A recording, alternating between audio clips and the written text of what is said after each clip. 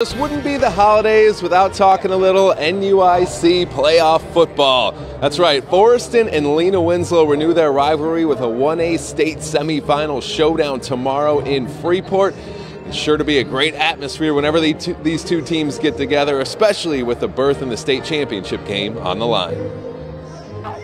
When Forreston and Lena Winslow meet in the playoffs, the winner often goes on to win a state championship.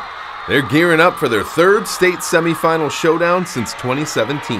It's either us or them, and whoever wins is gonna they're gonna be in the state championship, and we have a good opportunity to win. With Forreston, you know exactly what you're getting. You know, it's it's uh, you can throw any of the numbers out the window from all year long, um, records out the window, and they don't mean anything at this point, and it's going to be a battle. The players know the history.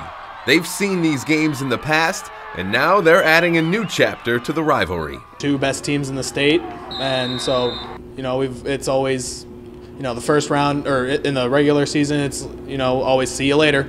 And here we are in the semis ready to fight and we're going to take it to them games like this are the ones that you look forward to. This is what makes football great. Cold weather downhill football. You get to hit a guy in the cold every single play. That's that's what makes this fun you, you don't think about it as tiny 1A football, but it's the hardest hits you'll see. It's just everything's 100% all the time. It's kind of something because it's two schools so similar with this strong tradition of football that each team has this drive to want to win so badly because, like I said, after a few years of competitive games back and forth, it builds up a rivalry of wanting to beat them. So, you know, each team goes in with such a burning desire to win that it just makes for a great game every time.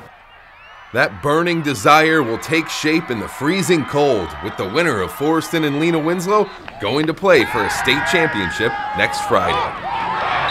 Well, kickoff is set for 2 o'clock at Freeport High School. That's due to all the snow that happened this week, making Lena Winslow's field unplayable. Should be a lot of fun there.